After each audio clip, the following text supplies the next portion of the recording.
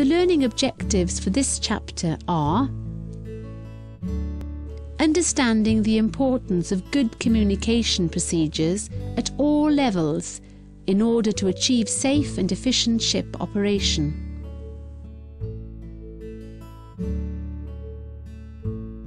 What is communication? Here is one possible definition. Transfer of signals and messages from one person to another with the purpose of creating an understanding, a particular meaning, or a certain reaction from the other person. If no reaction is received, we are talking about one-way communication. We can say that we have three main methods for communication. These are writing, signs and signals, verbal communication, non-verbal communication. Using options 1 and 2 above can produce either a clear and straightforward message or an unclear or ambiguous message. According to statistics, as much as 70 to 80% of incidents and accidents at sea can be traced back to some kind of communication problem. Here are a few examples of possible causes for communication problems. Communication problems between personnel on the bridge because of different culture, age, experience, etc. Communication problems between bridge and engine personnel. Communication problems between ship and tugs. Communication problems between ships. Communication problems between ship and VTS. Communication problems between ship and ship owner or operator. Communication problems between ship and authorities. Nowadays, when only a few ships are sailing with a radio officer, the bridge has become not only the main communication centre for internal ship communication, but also the centre for external communication services. This means additional workload for the officer on watch. And good communication skill has become even more important for the navigation officer. Here are a few main elements for establishing good bridge communications. Mutual respect and confidence between the bridge team members. Professional job attitude, share of workload. Good theoretical knowledge. Relevant practice. Self-confidence. Since communication problems have been identified as factors which often play a major role in sea incidents and many other accidents, the communication aspect of ship operation has been addressed by many different bodies at regular intervals during the last century. The IMO publication, Among Seafarers the Standard Marine Navigational Vocabulary, is probably the best known publication about this subject today. This publication has been updated several times and is a very good reference manual on the subject.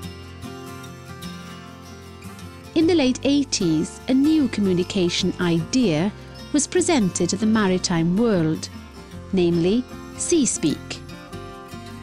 Sea-Speak is based on a world of experience. More than a thousand people from 26 maritime nations participated in the research and work that led to the production of the Sea-Speak Reference Manual and the Sea-Speak Training Manual. The central principle of Sea-Speak is that the receiver should be alerted to the type of message that follows at the very beginning of the message. This aim is achieved by the use of message markers. A message marker is a label which is attached to a message. This principle is entirely in agreement with the IMO recommendations and the main purpose of Sea-Speak is to reduce communication problems between ships, between ship and shore, between ship and VTS, etc. Sea-Speak messages are formed entirely from words within the English language. The total vocabulary used in Sea-Speak comprises three kinds of words and expressions. The vocabulary of general English, words in general maritime use,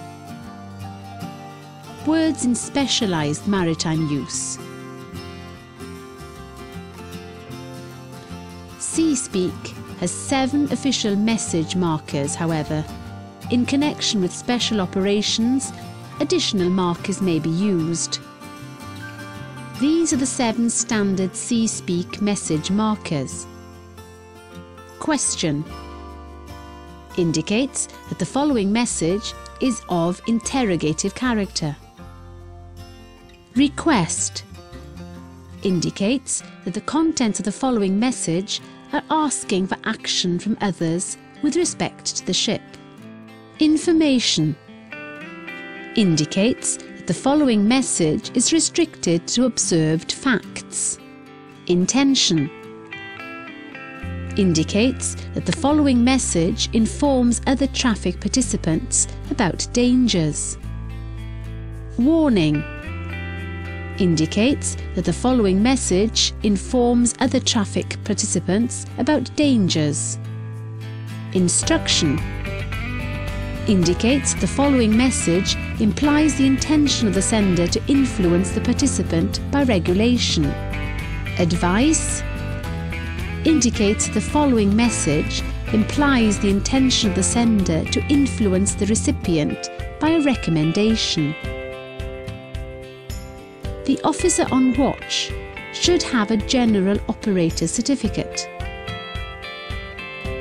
For ships operating only in Area A1, a Restricted Operator Certificate is sufficient. The VHF watchkeeping range is 20 to 30 nautical miles, depending on antenna height. All ships must keep a continuous watch on the following channels. Digital Selective Calling DSC Channel 70 Channel 16 when practicable Channel 13 when practicable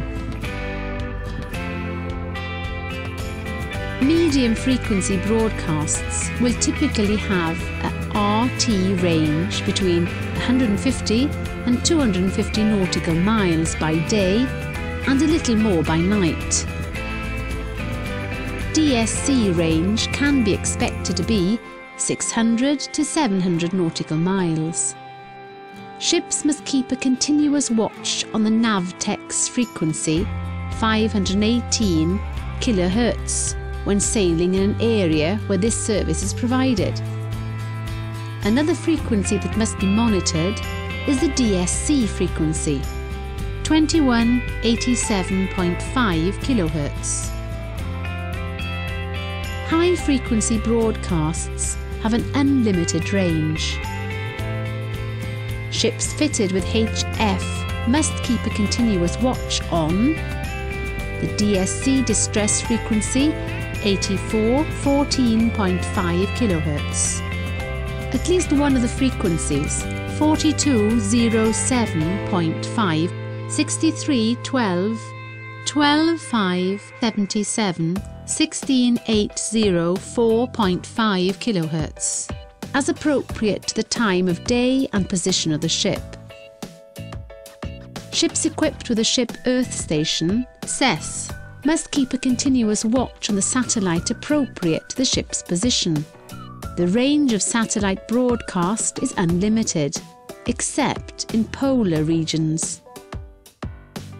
A radio log containing records of all incidents connected with radio communications of importance to the safety of life at sea must be maintained. The following information is normally required in the radio log. A summary of communications relating to distress, urgency and safety traffic. A reference to important radio service incidents. Own ship's position should be noted at least once a day. Identities of other stations where contact has been made problems due to interference, congestion, etc. Unnecessary transmissions, obscene language, etc. Radio equipment should be tested at the intervals stated by the manufacturer and in accordance with flag state requirements.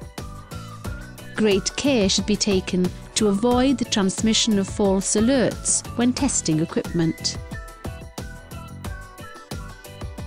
The officer on watch should be aware of the serious effects of operational and accidental pollution of the marine environment.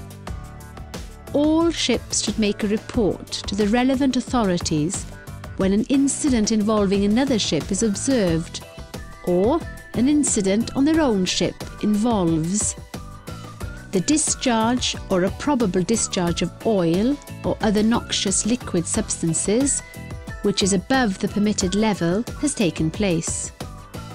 A discharge or probable discharge of harmful substances in package form has occurred.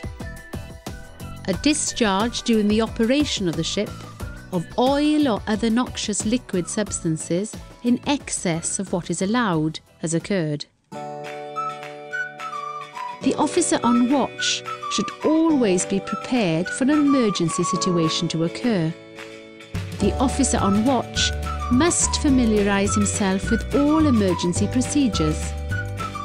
These procedures should be refreshed and retrained at regular intervals. The officer on watch should always remember that an emergency is not dangerous until it gets out of control. The most important thing to do during an emergency is to stay calm, think clear, and follow relevant emergency procedures. The officer on watch of a ship which is likely to be engaged in the transfer of personnel or stores by helicopter should become familiar with the ICS Guide to Helicopter Ship Operations.